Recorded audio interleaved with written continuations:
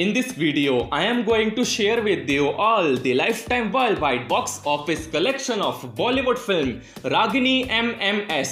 दोस्तों movie Ragini MMS जो release हुई थी 13 मई 2011 को ये एक Bollywood found footage horror movie है जिसको पाँच में से 2.5 स्टार की रेटिंग दी गई थी इसके डायरेक्टर और राइटर है पवन कृपलानी प्रोड्यूसर है एकता कपूर और शोभा कपूर आते हैं कास्ट पर इसमें राजकुमार राव और कायनास मोतीवाला दोनों लीड रोल में नज़र आए थे, लेकिन इनके अलावा सपोर्टिंग रोल में काफ़ी सारी कास्ट नज़र आई थी। फ़िल्म की स्टोरी इंस्पायर्ड है, साल 2007 में आई।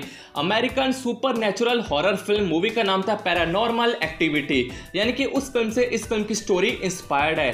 साथ ही बता दें कि फ़िल्म की जो स्टोरी है, वो बिल्कुल रियल स्टोरी पर बनाई गई है। साथ ही आपको बता दें कि जिस दिन ये फ़िल्म रिलीज़ हुई थी, इसके साथ टोटल तीन और बॉलीवुड फ़िल्में रिलीज़ हुई थी। यानी कि सेम डे टोटल चार फ़िल्में क्लैश हुई थी और चार फ़िल्में रिलीज़ हुई थी पहली film Ragini M M S.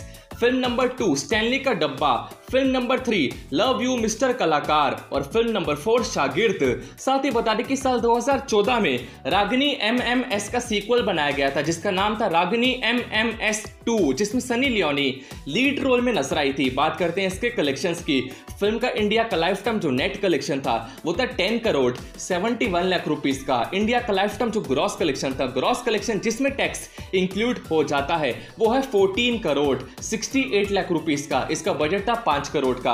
अब फाइव करोड़ के बजट के हिसाब से फ़िल्म का जो इंडिया का लाइफ टाइम नेट कलेक्शन था ten crore seventy one lakh rupees का। उस हिसाब से अगर हम वर्डिट की बात करें, यानी कि हिट और फ्लॉप के तो आपको बता दें कि film Ragini M M S box office पर हिट साबित हुई थी। फ़िल्म की ऑफिशियल वर्डिक्ट है वर्ल्ड वाइड हिट की।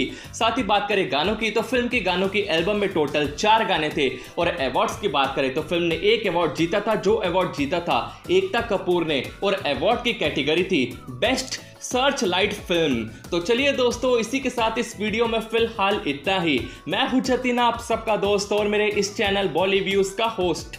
मेरे चैनल को सब्सक्राइब करके आप सभी बन जाइए मेरे दोस्त। अब आप सबसे मुलाकात होगी अगली वीडियो में, तब तक के लिए जय हिंद।